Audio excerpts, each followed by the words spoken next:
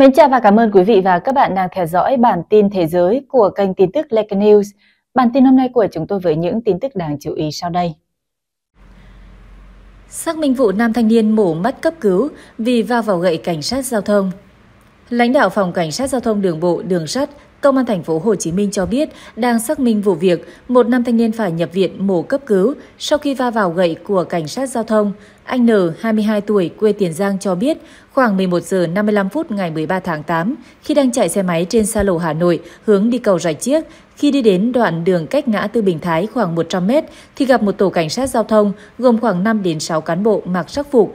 Ban đầu tôi chạy trong làn dành cho xe máy thì một cán bộ cảnh sát giao thông vẫy vào, tôi chưa dừng lại thì cùng lúc đó có một cán bộ cảnh sát giao thông khác dùng gậy điều khiển giao thông tác động vào mắt kính bên trái tôi đang đeo làm vỡ mắt kính. Tôi cảm nhận lực đánh rất mạnh, anh N nhớ lại. Cũng theo anh N, sau khi chạy qua chốt chừng 50 mét thì anh phát hiện mắt trái chảy nhiều máu nên quay trở lại. Tôi hỏi, lúc nãy anh nào vừa đánh em, chờ em đi bệnh viện, giờ mắt em chảy máu không chạy xe được thì các anh đều trả lời không biết. Lúc đó có khoảng 5 đến 7 anh cảnh sát có xe công vụ nhưng không ai hỗ trợ đưa tôi đi. Các anh nói tôi đậu xe qua một bên và tự kêu xe ôm chở tôi đến bệnh viện. Tôi được đưa đến bệnh viện nhưng đều cho rằng tình trạng mắt tôi quá nặng, mảnh vỡ mắt kính găm vào mắt, phải điều trị chuyên khoa. Đến 17 giờ, tôi được các bác sĩ bệnh viện mắt thành phố Hồ Chí Minh mổ cấp cứu. Anh N kể, anh N thừa nhận hành vi không dừng xe theo hiệu lệnh cảnh sát giao thông là sai và hoàn toàn chịu trách nhiệm, nhưng không đồng ý với hành động của cảnh sát giao thông. Anh N được bệnh viện cho xuất viện vào chiều ngày 18 tháng 8 để về nhà theo dõi. Hiện mắt tôi nhìn được cỡ 30% lúc bình thường, anh N nói. UAV và xuồng cao tốc Iran bao vây hai tàu chiến Mỹ. Đoạn video do Hải quân vệ tinh cách mạng Hồi giáo công bố cho thấy một tàu chiến Mỹ bị lượng lớn xuồng cao tốc vũ trang của Iran bám đuôi. Cuộc đối đầu căng thẳng xảy ra trên eo biển Hormuz thuộc vịnh Ba Tư, The Sun đưa tin hôm 20 tháng 8. Theo tờ báo Anh, tàu đổ bộ tấn công USS Bataan của Mỹ đang di chuyển qua eo biển Hormuz thì bất ngờ bị máy bay không người lái và một đội tàu cao tốc của Iran bám đuôi.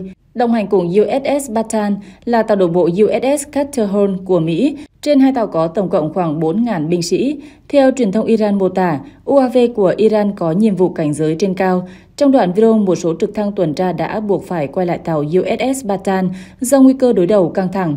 Tàu chiến Mỹ phát thông điệp cảnh báo, trong khi các xuồng Iran áp sát, ở phút thứ nhất của video, một binh sĩ Mỹ dùng súng máy cỡ lớn chĩa về hướng đuôi tàu để cảnh báo các xuồng Iran đang bám sát phía sau. Hải quân Mỹ chưa đưa ra bình luận về sự việc. Từ đầu năm nay, Hải quân Mỹ đã tăng cường hiện diện ở eo biển Hormuz, nơi lưu thông của 1 phần 3 lượng dầu vận chuyển đường biển của thế giới. Hải quân Mỹ cáo buộc Iran thực hiện các vụ bắt giữ tàu buôn vô cớ và đe dọa các tàu chở dầu đi qua eo biển Hormuz. Trong vòng 2 năm gần đây, Iran đã bắt giữ hoặc cố bắt giữ 20 tàu mang cờ quốc tế ở khu vực. Hải quân Mỹ tuyên bố, do tình hình khu vực căng thẳng, chúng tôi đề nghị các tàu duy trì thận trọng nhằm hạn chế nguy cơ bị bắt. Các tàu buôn được khuyến cáo tránh lãnh hải Iran càng xa càng tốt. Ông Timothy Hawkins, phát ngôn viên hạm đội 5 của Mỹ, nói hôm 12 tháng 8. Ông Hawkins cho biết Mỹ cần tăng cường hiện diện trong và gần eo biển Hormuz để đảm bảo an ninh của một tuyến đường vận tải rất quan trọng Tuy nhiên, Iran tuyên bố khu vực eo biển Hormuz không cần người nước ngoài cung cấp an ninh. Nữ chuyên viên có quan hệ khủng đến mức tác động lãnh đạo bộ, ngành giúp Việt Á. Trong vụ án xảy ra tại công ty Việt Á và các đơn vị liên quan, cơ quan cảnh sát điều tra Bộ Công an đề nghị truy tố hai người về tội lợi dụng ảnh hưởng đối với người có chức vụ quyền hạn để trục lợi, trong đó, kết luận điều tra thể hiện Nguyễn Thị Thanh Thủy, cựu chuyên viên nhà xuất bản giáo dục Việt Nam và Nguyễn Bạch Thùy Linh, giám đốc công ty SNB Holding kiêm sở hữu công ty Giang San gặp Phan Quốc Việt, chủ tịch công ty Việt Á và yêu cầu cho công ty Giang San làm đại lý cấp 1 xuất khẩu test COVID của doanh nghiệp này với mức chiết khấu 40% giá trị các hợp đồng. Phan Quốc Việt đồng ý với mức chiết khấu này, dù bình thường anh ta chi thấp hơn, như CDC Hải Dương chỉ nhận được từ 20 đến 25% giá trị hợp đồng. Việt Khai đồng ý chi 40% cho Thủy vì người này có mối quan hệ cá nhân, có thể can thiệp, tác động giúp công ty Việt Á. Tháng 3 năm 2020, Thủy và Linh biết công ty Capitaland của Singapore muốn ủng hộ chính phủ Việt Nam số hàng hóa chống Covid trị giá 1 triệu đô la Mỹ nên đã tác động doanh nghiệp này mua test của Việt Á để trao tặng. Phía Capitoland đồng ý, nhưng yêu cầu phải có thư cảm ơn của chính phủ hoặc đại diện chính phủ phải có mặt trong lễ trao tặng để tăng uy tín của doanh nghiệp trên thị trường Việt Nam. Buổi trao tặng diễn ra ngày 7 tháng 4 năm 2020 với sự tham gia của bị can Nguyễn Thanh Long, khi đó là Thứ trưởng Thường trực Bộ Y tế và một số quan chức trung ương. Hai ngày sau, Phan Quốc Việt chỉ đạo cấp dưới đưa hơn 8 tỷ đồng tiền mặt chiết khấu hợp đồng cho bị can Linh. Nguyễn Thị Thanh Thủy được chia 2 tỷ đồng trong số này. Khai với cảnh sát, Thủy cho hay đã gọi điện mời Thứ trưởng Nguyễn Thanh Long và nhắn tin mời một Phó Chủ tịch Trung ương Mặt trận Tổ quốc tới dự buổi trao tặng test Việt Á của công ty Capitoland. Tiến sĩ trộm cắp tài sản của trường khai do nợ nần quảng bách về kinh tế.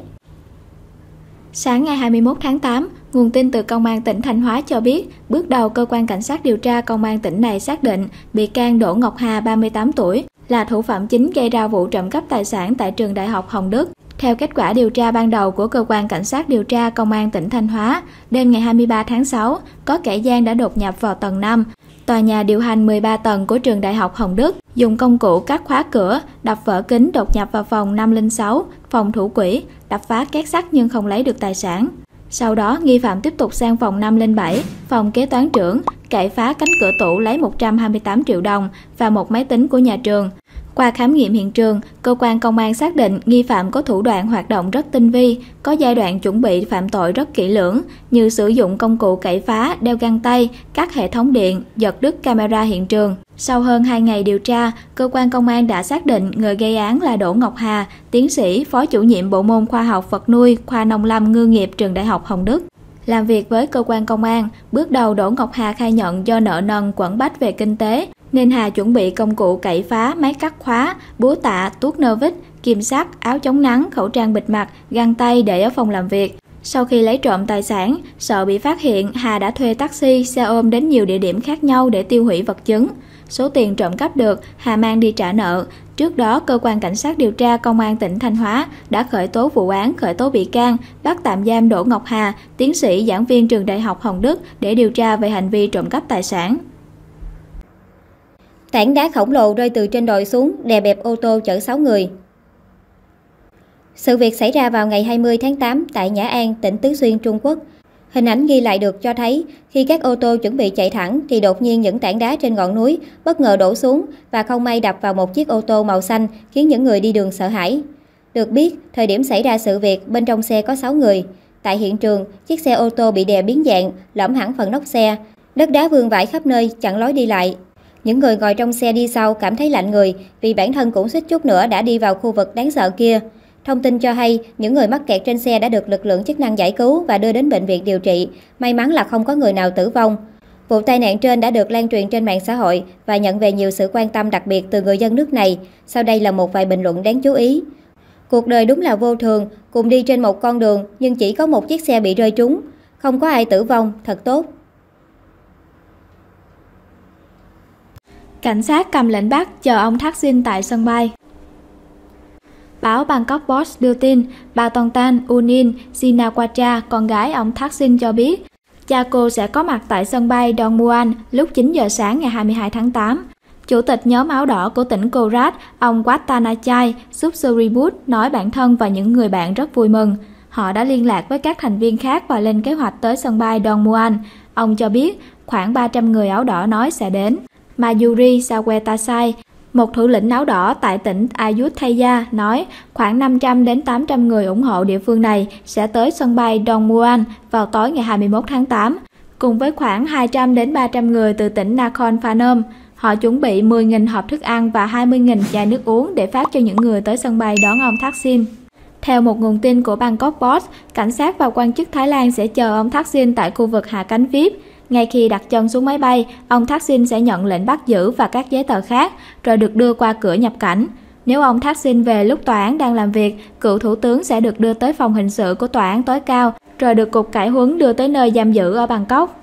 Nếu ông Thaksin về lúc ngoài giờ làm việc, ông sẽ bị giam giữ một đêm ở đồn cảnh sát, rồi đưa tới tòa án tối cao vào sáng hôm sau.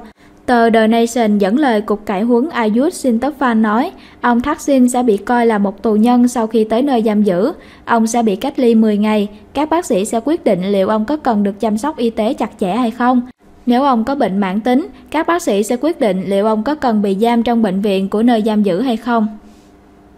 Cuối tháng 8, chạy trình diễn tàu metro số 1 trên toàn tuyến. Buổi trình diễn tàu metro số 1 Bến Thành Suối Tiên dự kiến diễn ra vào ngày 31 tháng 8. Hành trình bắt đầu từ ga Suối Tiên, thành phố Thủ Đức đến ga Bến Thành, quận 1. Nội dung được nêu trong thư của nhà thầu Hitachi Nhật Bản vừa gửi Ban Quản lý Đường sắt Đô thị thành phố Hồ Chí Minh MAUR. Theo nhà thầu Hitachi, do thiếu các biện pháp đảm bảo an toàn trong trường hợp khẩn cấp tại đường hầm, số lượng hành khách tham gia trình diễn tàu metro sẽ được giới hạn tối đa 20 người. Hành khách phải trang bị giày phù hợp nếu cần sơ tán khỏi tàu. Metro số 1 hiện đạt khoảng 95% tổng khối lượng. Toàn dự án đã có 17 trên 17 đoàn tàu, 51 toa được nhập từ Nhật Bản về thành phố Hồ Chí Minh thử nghiệm. Hồi cuối tháng 8 năm 2022, đoàn tàu đầu tiên trong số 17 đoàn tàu metro được vận hành thử nghiệm lần đầu trên 300 m đường ray. Đến cuối tháng 12 năm 2022, đoàn tàu tiếp tục được thử nghiệm gần 200 km đoạn trên cao. Tháng 4 năm nay, đoàn tàu lần nữa được chạy thử với sự tham gia của 2.000 người dân thành phố. Trước đó, Thủ tướng Chính phủ ban hành quyết định số 65 về duyệt điều chỉnh chủ trương đầu tư dự án Metro số 1, lùi thời gian hoàn thành tuyến này đến cuối quý 4 năm 2023 với cam kết của chủ đầu tư là không phát sinh chi phí. Metro số 1 dài 19,7 km từ Bến Thành quận 1 đến Depot Long Bình. Tổng vốn đầu tư hơn 43.700 tỷ đồng, khoảng 2 tỷ đô la Mỹ. Công trình có 3 ga ngầm, 11 ga trên cao. Đây là tuyến đường sắt đô thị đầu tiên của thành phố Hồ Chí Minh và là một trong 8 tuyến thuộc hệ thống metro của thành phố Hồ Chí Minh theo quy hoạch chung của thành phố Hồ Chí Minh. Các đại lý xe hơi tại Mỹ nói gì trước cơ hội bắt tay với VinFast? VinFast với khoảng gần 3.000 xe đã đặt chân tới khu vực Bắc Mỹ từ cuối năm 2022, cho biết họ đang có những điều chỉnh đối với mô hình phân phối cũ, vốn dựa trên cách tiếp cận trực tiếp khách hàng mà Tesla áp dụng. Giờ đây, VinFast muốn bán xe thông qua các đại lý trung gian. Một số đơn vị phân phối được liên hệ bởi Reuters tỏ ra khá cởi mở về ý tưởng mới này. Tuy nhiên, điều họ cần là những thông tin chi tiết về phương thức bán hàng mới của hãng xe Việt. Trong đó, bao gồm chiến lược phát triển, kế hoạch phân phối linh kiện, chế độ bảo hành và yêu cầu, cũng như ưu đãi đối với đại lý. Có còn chỗ cho các hãng xe mới hay không? Tất nhiên là có, nhưng còn quá sớm để nói trước bất cứ điều gì. George Glassman, chủ tịch Glassman Automotive Group, đơn vị phân phối năm thương hiệu xe hơi tại Detroit, chia sẻ với Reuters. Đầu tiên, bạn cần tính tới là tương lai của chính hãng xe điện đó, liệu họ còn tồn tại trong 5 năm tới hay không? Đó là mối quan tâm lớn nhất. Andrew DeFio, quản lý đại lý bán hàng của Hyundai tại bang Florida, chia sẻ. Một số đại lý khác cho biết VinFast còn mang lại cho họ biên lợi nhuận tốt nhằm bù đắp những rủi ro họ có thể phải đối mặt. Quan trọng nhất, hãng xe cần cung cấp điều khoản bảo hành hấp dẫn nhằm thuyết phục khách hàng mua xe của họ. Nga truy lùng kho tên lửa phương Tây ở Ukraine Những vũ khí do phương Tây cung cấp, trong đó có tên lửa Storm Shadow của Anh, SCAP của Pháp, đã hỗ trợ đáng kể chiến dịch phản công hơn 2 tháng qua của Ukraine. Tuy nhiên, chiến dịch của họ cần nhiều hơn thế, trong bối cảnh Nga dường như không che giấu mục tiêu phá hủy hoàn toàn kho tên lửa tầm xa mà phương Tây cấp cho Kiev. Tuần qua, Nga đã phóng hàng chục tên lửa vào miền Tây Ukraine trong đợt tập kích được cho là lớn nhất từ trước đến nay. Theo giới chức Ukraine, chỉ riêng trong ngày 15 tháng 8, Moscow đã bắn tới 28 tên lửa hành trình nhắm vào các căn cứ không quân, đường băng và các cơ sở đào tạo phi công của Ukraine, cách tiền tuyến tới 1.000 km. Ukraine tuyên bố đánh chặn thành công 16 tên lửa trong số đó. Theo nguồn thạo tin, Kiev và các đồng minh cho rằng những cuộc tập kích này của Nga nhằm phá hủy các đường băng quân sự, phi đội máy bay ném bom của Ukraine vốn được sử dụng để phóng tên lửa Storm Shadow và Scap. Nguồn tin cũng cho biết thêm, để tránh rủi ro khi bị tấn công, Ukraine đang chạy đua với thời gian để di tản kho vũ khí quan trọng và phi công tới khu vực an toàn. Phát ngôn viên không quân Ukraine Yuri Unat cho biết, với những gì mà phi công Ukraine có thể gây ra với lực lượng Nga, không có gì ngạc nhiên khi họ phải cố gắng phá hủy không quân của chúng tôi.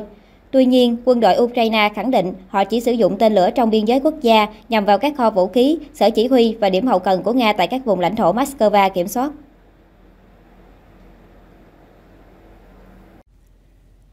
Financial Times Mỹ không có đủ tên lửa đạn đạo cho Ukraine. Tờ báo cũng dẫn lời một số chuyên gia đặt câu hỏi liệu loại khí tài này có thể giúp Kiev đạt được bước đột phá lớn nào hay không. Trong bài viết hôm 20 tháng 8, Financial Times dẫn lời các quan chức Mỹ giấu tên tuyên bố rằng Mỹ không sản xuất đủ tên lửa đạn đạo chiến thuật, loại mà Ukraine đang yêu cầu để tạo ra sự khác biệt đáng kể trên chiến trường.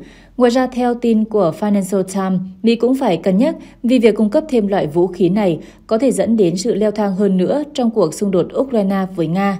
Shomil Charab, nhà khoa học chính trị cấp cao tại Rand Corporation, nói với các phương tiện truyền thông rằng việc Ukraine khăng khăng muốn các tên lửa tầm xa là chưa phù hợp. Vị chuyên gia này nhấn mạnh những tên lửa như thế này chẳng có cây đũa thần nào và khó có thể giải quyết được rào cản bãi mìn và tuyến phòng thủ cố thủ của Nga mà lực lượng Kiev đang phải đối mặt. Financial Times dẫn lời một số quan chức Mỹ cảnh báo mức độ viện trợ quân sự của nước này có thể bị thu hẹp khi cuộc bầu cử tổng thống năm 2024 sắp diễn ra. Bài báo lưu ý khả năng tái đắc cử của ứng viên Đảng Cộng Hòa Donald Trump làm tăng thêm một lớp bất ổn khác do ông đã nhiều lần cam kết chấm dứt xung đột ngay khi nhậm chức. Trong khi đó, tại Đức, một số quốc gia khác mà Kiev yêu cầu cung cấp vũ khí tên lửa tầm xa, một cuộc khảo sát do ARD Deutschlandtrend công bố cho thấy 52% số người được hỏi kiên quyết phản đối việc chuyển giao vũ khí với 36% ủng hộ. Cho đến nay, các quan chức hàng đầu của Đức, bao gồm cả Thủ tướng Olaf Scholz, tỏ ra miễn cưỡng trong việc chuyển giao tên lửa Taurus cho Ukraine. Tên lửa này có tầm bắn khoảng 500 km. Hàn Quốc, Ấn Độ chỉ trích Bắc Kinh về yêu sách Biển Đông. Hàn Quốc và Ấn Độ lần đầu tiên lên tiếng bày tỏ quan điểm mạnh mẽ ủng hộ phán quyết của Tòa trọng tài thường trực với yêu sách Biển Đông của Trung Quốc năm 2016. Theo Nikkei, lập trường của Hàn Quốc và Ấn Độ cùng với Mỹ, Nhật Bản được đưa ra sau sự việc Trung Quốc gần đây sử dụng vòi rồng chống lại một tàu tiếp tế của Philippines, gây ra phản ứng dữ dội trên toàn cầu. Tổng thống Mỹ John Biden triệu tập hội nghị thượng đỉnh ba bên với Thủ tướng Nhật Bản Fumio Kishida và Tổng thống Hàn Quốc John Suk-yeol tại trại David hôm 18 tháng 8 bên cạnh Triều Tiên. Trung Quốc là chủ đề chi phối cuộc họp ba bên, đề cập đến các hoạt động không an toàn của hải cảnh Trung Quốc gần các tàu của Philippines, tài liệu nêu. Chúng tôi phản đối mạnh mẽ nỗ lực đơn phương nhằm thay đổi hiện trạng ở vùng biển thuộc Ấn Độ Dương, Thái Bình Dương. Phán quyết của tòa PCA đặt ra cơ sở pháp lý cho việc giải quyết xung đột hàng hải giữa các bên bằng biện pháp hòa bình. Lập trường mạnh mẽ hơn của Hàn Quốc đối với Trung Quốc phản ánh chính sách đối ngoại hướng ngoại hơn, vượt ra ngoài bán đảo Triều Tiên. Sau cuộc họp, Tổng thống John Suk Yên cam kết hợp tác với Mỹ và Nhật Bản để cung cấp hỗ trợ an ninh hàng hải cho các nước Đông Nam Á. Chúng tôi quyết tâm tăng cường hợp tác, tôn trọng chủ quyền, toàn vẹn lãnh thổ, giải quyết tranh chấp một cách hòa bình cùng những vấn đề khác, củng cố trật tự quốc tế dựa trên luật lệ. Ông John Suk Yên cho hay, ông Biden hoan nghênh quan điểm chung của Nhật Bản và Hàn Quốc, nhấn mạnh cùng nhau chúng ta sẽ bảo vệ luật pháp quốc tế, tự do hàng hải và giải quyết hòa bình các tranh chấp ở Biển Đông. Những thông tin vừa rồi đã khép lại chương trình hôm nay của chúng tôi. Cảm ơn quý vị đã quan tâm theo dõi. Xin chào và hẹn gặp lại.